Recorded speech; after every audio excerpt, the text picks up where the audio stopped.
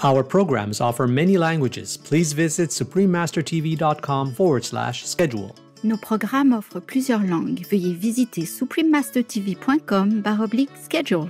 Nuestros programas ofrecen varios idiomas. Visiten suprememastertv.com barra inclinada schedule. ਸਾਡੇ programme ਪੇਸ਼ ਕਰਦੇ ਹਨ ਅਨੇਕ ਭਾਸ਼ਾਵਾਂ ਕਿਰਪਾ ਦੇਖੋ suprememastertv.com/schedule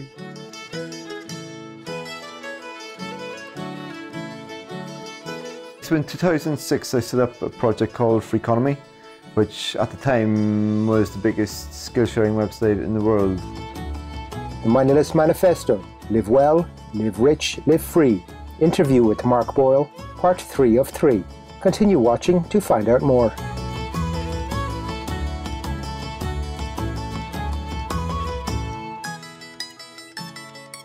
Kujay Maratashiv. I just said, How are you in Irish Gaelic? I'm Aidan. The open hearted people of Northern Ireland cherish such bright, caring friends as you and pray that all lives may be rightfully respected as God's precious children.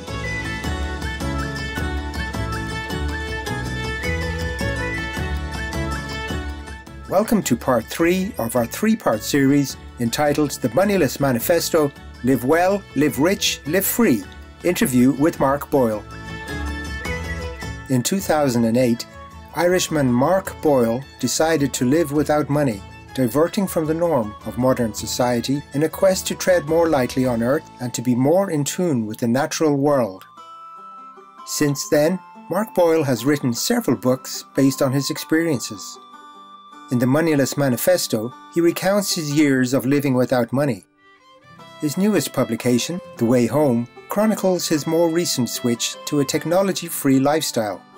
With witty humour and insightful perspectives, Mark Boyle's books draw on his fascinating personal experiences to show readers how we too can reduce our reliance on material possessions to lead more fulfilling lives in harmony with the environment. Let us find out more about Mark Boyle's inspiring story as we continue our interview with the progressive author. I started in 2008. Um, I gave up money then, um, initially for one year. Um, ended up doing that for three years. Um, and then I suppose in the transition phase of moving back to Ireland, I was still living on virtually no money. Very, very kind of tech free to a large extent in the modern perspective. Then in 2016, quit technology like what we understand as modern technology um, altogether. So that's when I give up electricity, give up um, running water, give up cars, give up basically give up the products of everything I was campaigning against uh, in my kind of environmental work. So I guess between everything, I've been in this way of life for maybe 12 years now.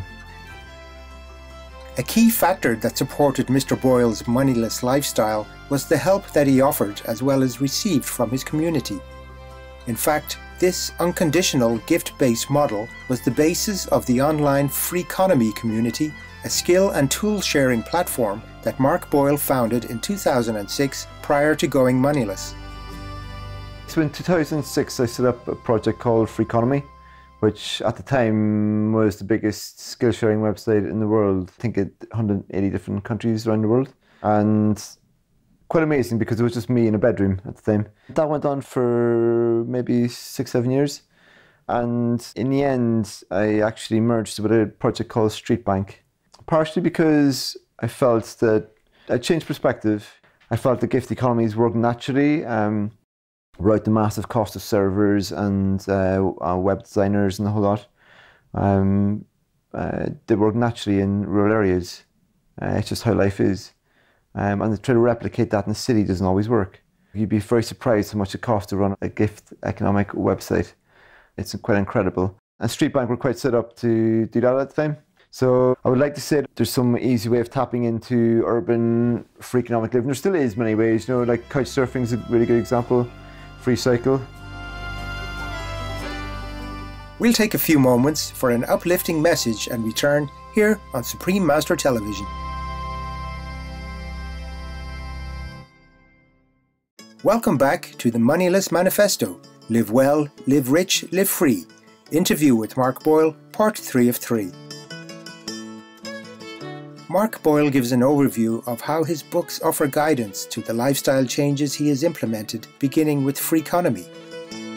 First book's full of different um, projects in which people can tap into that. The first book's The Moneyless Man. That was more of a story of my experiences living without money and some tips. The second book, actually, The Moneyless Manifesto, is more of a practical guide to living in this way. And so that's that's completely full of the tips, you know. That's like if you were interested in living with less money, then uh, then there's probably thousands of tips in there, you know, which to do that.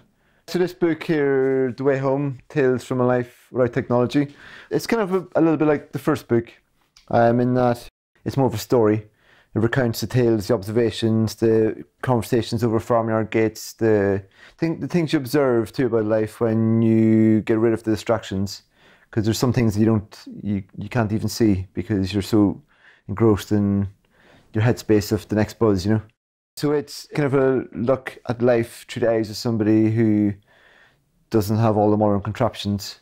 Um, it was handwritten, and that was interesting in itself also because there's a very different quality of thought and writing that comes from sitting in front of a fire uh, with a pencil um, than comes from um, sitting in front of a computer all day and copying and pasting and deleting. I think sometimes now for a couple of hours before I even put pen to paper. But then when I do write, it's all in one go. It's like 1500 words and non-stop almost, you know. It's like um, carpenters often say, measure twice, cut once. Uh, very good advice in carpentry. I think in writing, the good advice is think twice, write once. We're becoming like the machines that we're using, you know, and I think that's the biggest danger. Not the machines are going to become more like men or women. Um, uh, that uh, the men and women are going to become more like machines. Um, and that's what I'm in some ways trying to resist is that uh, process of myself. I want to stay human. Ultimately, Mark Boyle believes that the benevolence upon which the free economic lifestyle is based is inherent in all of humanity. This generosity comes more naturally the closer we are to the environment. It's in all of our lives to some degree, you know, less and less as money takes over, you know. But like if you don't charge your partner, for example, to make dinner for them, you know, that's an example of gift economics, you know, in some ways. But it's actually like just an extension of what is already happening to us. Like I spoke to my neighbour, she's an old woman, 80, 87, up the road from me. She told me when she was growing up, um, not from a lifestyle choice, just from reality, she lived on one penny a week. She'd be able to pick up some flour. And that's all. That's all she'd buy was the flour. All the other food she grew, and that seems quite extreme for us now because we can't imagine uh, not having to go to the supermarket to buy all our food. And that's only 50 years ago, you know. It's not a long time. Um, that's one aspect in terms of like a relationship with the land itself.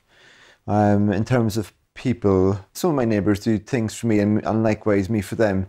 We wouldn't dream of charging each other because it's in a rural setting and we know we all depend on each other, you know, to get by. Just just normal kindness. Yeah, I think it's not even I don't even know if it's kindness, it's just life. Kindness would even imply that there was some kind of reg- register of you've done a good deed, you know? Like it's kind of there's not even a register of that, it's just what you do. Where in the modern industrial kind of more urban setting, it's like it'd be very surprising if anybody in your surroundings came to your house and helped you with something for nothing, you know. And I think that's got a, a, again another deep psychological effect on us. You know, it makes us feel like the world around us is against us.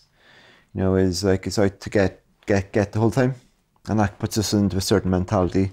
But I think when you're in when you operate within the gift economy or in, in that spirit, then you have a different relationship with the world because you know you're seeing as a, a place in which is friendly towards you, as long as you retain that kind of healthy relationship with it. At the end of this interview, we prepared some gifts for Mark, including Supreme Master Ching Hai's best-selling book, The Noble Wilds, as well as her informative book about climate change and its solution, From Crisis to Peace. Oh wow! Oh my god! That, that's quite exciting. God, you don't get it very often after interviews. Oh my god, Jesus! That could keep me going for the whole day or a week. Oh wow, that's a beautiful book. Wow, God, it's very beautifully done. 'Cause you can really tell even from just looking at pictures of her with life that she's yeah she's got a whole very deep awareness of life around her. God, we look forward to reading that. God, thank you so much. That's very, very kind of you. And then there seems to be a whole lot of little treats. I know it's Booja-Booja, is it? oh my God. I, I still remember Booja-Booja. It's a wee book in there as well, isn't there? Oh, wow. Oh, bless you. We thank Mark Boyle for sharing his experiences with us and for demonstrating how a spirit of giving, simplicity, and appreciation of Mother Earth can create kinder communities where people live in abundance and harmony with nature.